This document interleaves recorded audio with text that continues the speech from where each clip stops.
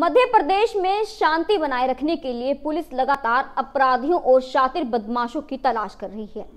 इसी के मद्देनजर पुलिस ने कार्यवाही करते हुए थाना मनावर एवं बाग क्षेत्र के अंतर्गत लूट, चोरी और नकबजनी की छह वारदातों का खुलासा किया है।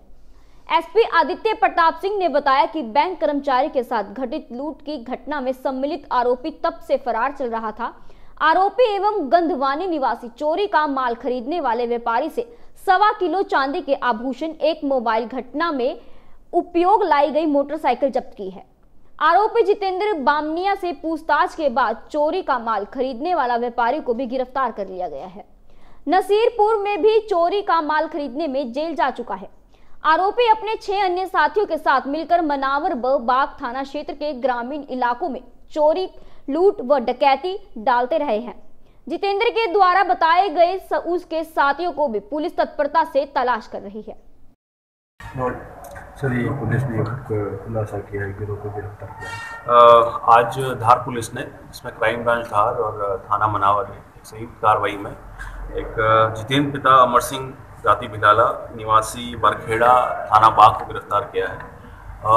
इसको आर्म्स एक्ट में गिरफ़्तार किया गया पूछताछ पे इसका छः पूर्व के अपराधों में इन्वॉल्वमेंट होना पाया गया।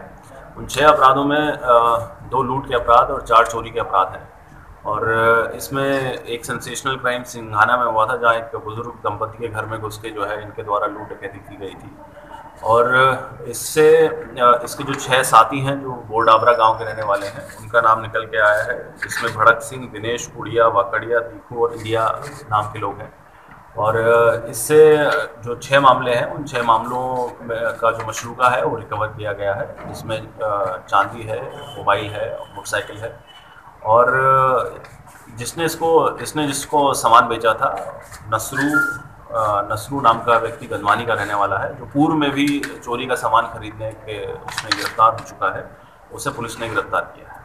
JBD Banquets लाए हैं incredible marriage palace Rajgharana and the finest banquet hall Jyoti Garden.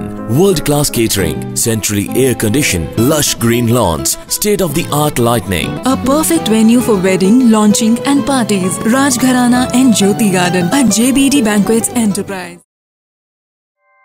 ऐसे ही लेटेस्ट खबरें पाने के लिए बेल आइकन को क्लिक कर हमारे चैनल को लाइक शेयर एंड सब्सक्राइब करें धन्यवाद।